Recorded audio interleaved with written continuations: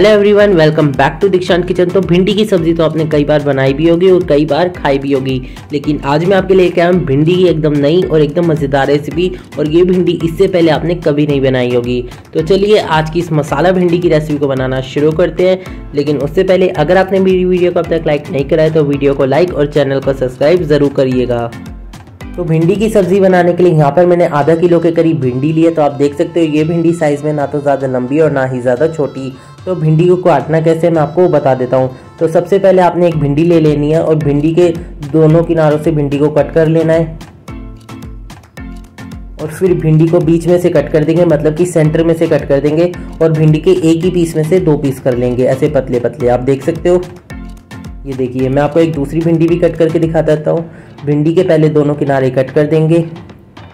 फिर उसको बीच में से काट लेंगे और एक ही पीस में से दो पीस कर देंगे। देख सकते हो आप? और जब आप भिंडी को ऐसे पतले पतले पीस में कट करते हो तो भिंडी खाने में भी अच्छी लगती है और दिखने में भी काफ़ी अच्छी लगती है।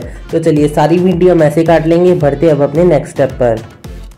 तो यहाँ पर मैंने एक ग्राइंडिंग जार लिया है, जिसमें मैंने एक बड़े साइज़ के टमाटर को कट करके इसमें ऐड कर देंगे। इसी के साथ साथ हम इसमें एक इंच कटा हुआ अदरक का टुकड़ा ऐड कर देंगे। और आधी छोटी चम्मच के करीब जीरा ऐड कर देंगे और बिना पानी डाले टमाटर और अदरक और जीरे को अच्छी तरीके से पीस लेंगे। तो चलिए, यहाँ पर मैंने टमाटर की प्यूरी बना लिया आप देख सकते हैं, इसका कलर भी काफ़ी अच्छा आ गया है। तो अब चलते हैं नेक्स्ट स्टेप पर। तो यहाँ पर मैंने एक पैन लिया है, जिसमें मैंने तीन से चार चम्मच के करीब ऑयल ऐड किया है। तो ऑयल को सबसे पहले बढ़िया तरीके से गर्म होने देंगे। तो जैसे ही ऑयल गर्म हो जाएगा, हम इसमें डालेंगे आधी छोटी चम्मच के करीब राई। राई को अच्छे से चटकने देंगे। जैसे ही राई चटक जाएगी। यहाँ पर मैंने ऐड किया तीन से चार हरी मिर्च। तो मैंने इन हरी मिर्च को कट नहीं किया है। ऐसे डालिएगा साबुत तो ज़्यादा अच्छा फ्लेवर देगी हरी मिर्च। और हरी मिर्च को पकने देंगे। जैसे ही हरी मिर्च पक जाएगी हल्का सा, मैंने यहाँ पर तीन मीडियम साइज़ के प्याज लिए थे, जिसको मैंने से पतले पतले पीस में कट कर लिया वो भी इसमें ऐड कर देंगे। तो जब भी आप प्याज लेना, उसको पतला पतला शेप में कट करें, भिंडी में ज़्यादा अच्छा स्वाद आएगा और दिखने में भी काफ़ी अच्छा लगेगा। तो प्याज को हम पका लेंगे जब तक कि प्याज हल्के से सॉफ्ट ना हो जाए या फिर उसका कलर हल्का सा चेंज ना हो जाए। तो प्याज को पकने देंगे। तो चलिए, यहाँ पर हमारी प्याज अच्छी तरीके से पक चुके हैं और इसका कलर भी ना हल्का सा लाइट हो गया है और प्याज भी अच्छी तरीके से सॉफ्ट हो गया है। तो अब हम इसमें मसाले ऐड कर देंगे जो हम अच्छी तरीके से तेल में भूनेंगे। तो सबसे पहले इसमें जाएगा आधी छोटी चम्मच के करीब हल्दी पाउडर। आधी छोटी चम्मच के करीब लाल मिर्च पाउडर। लाल मिर्च पाउडर का यूज़ कम ही करिएगा, क्योंकि आप इसमें हरी मिर्च का भी यूज़ करेंगे। एक चम्मच के करीब धनिया पाउडर। और अच्छी तरीके से इन सभी मसालों को भून लेंगे। प्याज के साथ ही मसालों को डालिएगा। इससे क्या होगा ना, अभी तेल गर्म है तो मसाले अच्छी तरीके से भून जाएँगे, उनका कच्चापन भी निकल जाएगा।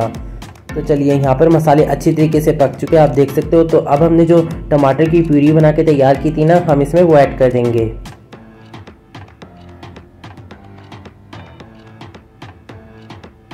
और यहाँ पर जो जार में थोड़ी बहुत भी ग्रेवी लगी थी ना, उसमें मैंने थोड़ा सा पानी ऐड कर दिया, वो भी इसमें ऐड कर देंगे।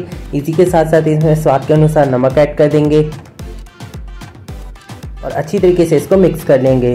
और अब हम टमाटर को भी अच्छी तरीके से पका लेंगे, ताकि टमाटर का कच्चापन अच्छी तरीके से निकल जाए और टमाटर का कच्चापन ना आए, टमाटर अच्छी तरीके से पक जाए और इसका कलर भी चेंज हो जाए, हमारा मसाला बढ़िया से भून जाए। तो इसको पकने देंगे। तो देख सकते हो आप, टमाटर अच्छी तरीके से पक चुका है और उसका कलर कितना अच्छा आ गया है और ऊपर इसके तेल भी तैरने लगा है। आप देख सकते हो, इसको मिक्स कर लेंगे। और अब हम इसमें थोड़ा सा पानी ऐड करेंगे। आप देख सकते हो, मसाला कितना बढ़िया भुना है उसका रंग कितना अच्छा है। तो पानी ज़्यादा ऐड नहीं करना है, बिल्कुल थोड़ा सा करना है। तो वन फोर्थ कप के करीब मैंने यहाँ पर पानी ऐड किया है, आप देख सकते हो। और अच्छी तरीके से इसको मिक्स कर लेंगे। और अब हम टमाटर को और प्याज को अच्छी तरीके से पका लेंगे क्योंकि हमने इसमें पानी ऐड किया है। तो मैंने इसको अच्छी तरीके से पका लिया, आप देख सकते हो। तो अब हम इसमें भिंडी ऐड कर देंगे इसी समय पर। तो यहाँ पर मैंने भिंडी को अच्छी तरीके से पतले पतले शेप में कट कर लिया, आप देख सकते हो। तो ये सारी भिंडी हम इस मसाले में ऐड कर देंगे। और भिंडी को अच्छी तरीके से मसाले के साथ मिक्स कर लेंगे। तो मैंने भिंडी को मसालों के साथ अच्छी तरीके से मिक्स कर लिया, आप देख सकते हो। तो अब हम भिंडी को पकने देंगे। तो एक बात ध्यान रखिए, जब भी आप भिंडी पकाएँ ना, जो भी आप बर्तन में भिंडी पका रहे हैं, उसको कवर ना करें लेट से। उससे क्या होगा ना, भिंडी खिली खिली बनेगी, वरना भिंडी चिपकी चिपकी रहती है। तो बीच बीच में हम भिंडी को ऐसे मिक्स करते रहेंगे ताकि भिंडी जले ना। और इसको अच्छे से पकने देंगे। तो चलिए, यहाँ पर हमारी भिंडी अच्छी तरीके से पक चुकी है, आप देख सकते हो। तो इसको मिक्स कर लेंगे अच्छी तरीके से। और ये देख सकते हो कितनी बढ़िया रंग आ गया है इसका और मैं आपको थोड़ा सा पास से दिखा देता हूँ। ये देखिए। देख सकते हो आप कितना बढ़िया रंग आया है और भिंडी ने ज़्यादा तेल भी अब्जॉर्ब नहीं किया है। एकदम देख सकते हो खिली खिली भिंडी बनी है।